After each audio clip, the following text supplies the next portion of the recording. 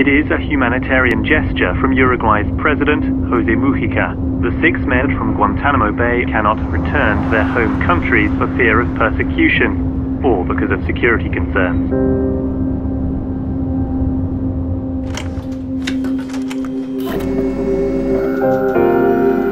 el gobierno de Uruguay negocia la firma de un acuerdo para otorgarles una vivienda, subvención económica y traer a sus familias.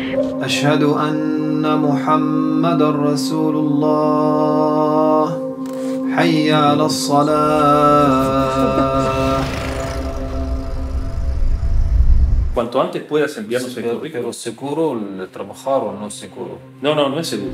Los fueron a buscar a Guantánamo y los trajeron para aquí y les dijeron aquí pueden reconstruir su vida. Entonces hay una responsabilidad primera del, del gobierno que tomó una decisión. papá. Estoy en un problema grande, la verdad. ¿Cómo vivir con 13 mil pesos con familia? Nosotros dimos un gesto humanitario y abierto, pero no podemos dar lo que no le estamos dando a los uruguayos. هاي طلع هاي اول محل مسكر هاي الثاني جنبه مسكر نصيحه لله روح على امريكا ارجع بلادك خليك بجوز امورك احسن por supuesto que entre Guantánamo y el Uruguay yo me quedo con que estén en Uruguay. Pero hoy, ¿qué pasa? ¿Todo el mundo se lava las manos?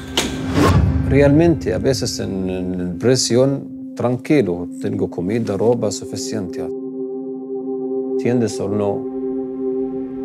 Entiendo que tú I speak you in English, you talk no, to me yo in no hablo inglés ni me talk- interesa no. hablar inglés. You promise me سأل إيش كنت تعمل في اليوم مع كل الأذى اللي يعني متواصل 24 ساعة في الليل وفي النهار عليك لو يضغطوا عليك حيدمروا عقلك يدمروا نفسيتك يخرجوك تصبح يعني إنسان غير صالح للحياة الطبيعية